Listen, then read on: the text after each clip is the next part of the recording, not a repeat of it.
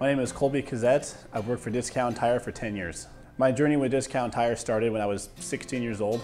I mean, when I started out, I knew almost nothing about tires. Got an application right there, turned it in the next day, had an interview the following week and got hired on the spot, and here we are 10 years later.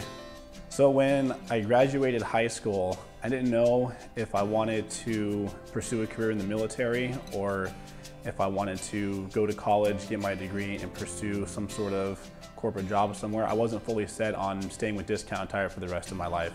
So I decided to enlist in the Marine Corps and go reserve and at the same time enroll in college and do both at the same time, see which one I liked more.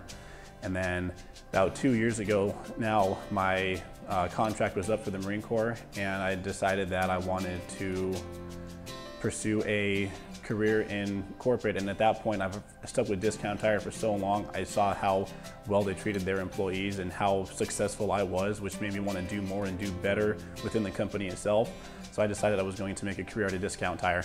One day, one day sitting at home I was scrolling through TikTok and I was wondering if Discount Tire had a TikTok account. Started making videos, a lot of it was informational. One thing led to the next. There were a couple videos that got two, almost three million views and the account started to blow up. Eight months later, I'm getting a call for a job offer as a social media specialist working over here in corporate and I still look back on that as one of the happiest times of my life. What are you waiting for?